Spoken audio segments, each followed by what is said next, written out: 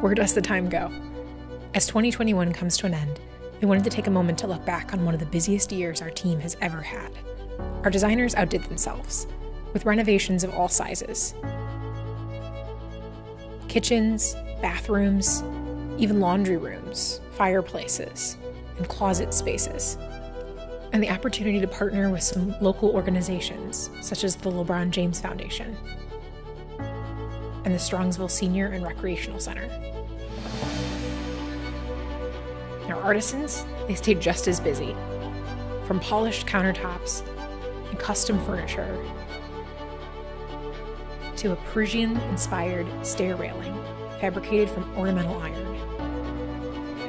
We began the year with the national launch of the Fittings Metal Collection, a new line created to elevate interiors using metal accents.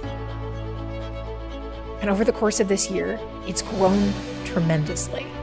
With numerous trade partners across the United States, in October, it won the KBB Product of the Year award.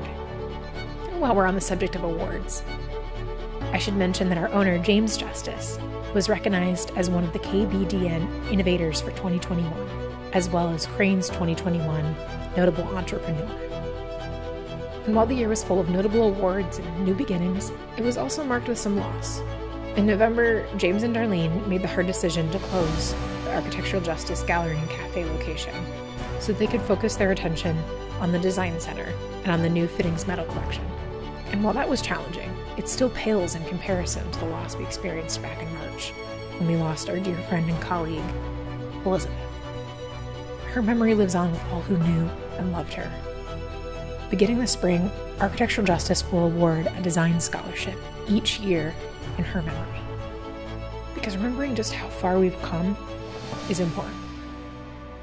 That's why this year we celebrated our 35th year anniversary with an all out Ladies' Night extravaganza.